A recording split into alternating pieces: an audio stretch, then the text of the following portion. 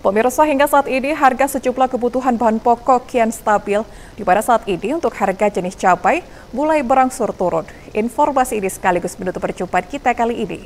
Dan pemirsa, berita Jek TV juga dapat diakses melalui YouTube resmi Jek TV dan jaring media sosial di bawah ini.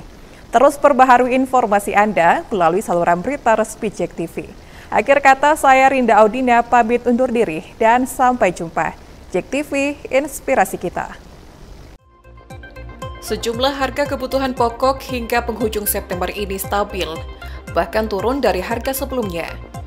Yang mana seperti terpantau pada Kamis pagi, untuk harga cabai berangsur turun. Saat ini harga cabai merah berada di harga Rp25.000 per kilonya. Sebelumnya sempat bertengkar di harga Rp32.000 hingga Rp35.000 per kilonya. Salah satu pedagang di Pasar Tanggorajo Ilir Endang mengatakan, Hingga saat ini, harga sejumlah bahan pokok kerap tidak menentu. Setiap hari yang kerap tidak stabil, yakni harga cabai merah maupun bawang merah. Untuk cabai jauh turun, Bang. Berapa sekarang? Harga cabai 25. Sebelumnya?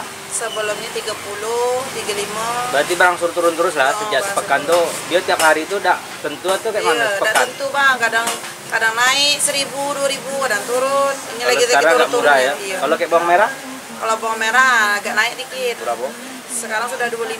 Sebelumnya? Biasa 20, 22. Kalau kayak jenis-jenis cabai lain, Kalau cabai lain bencong juga turun. Bencong tinggal kita ngecer 35.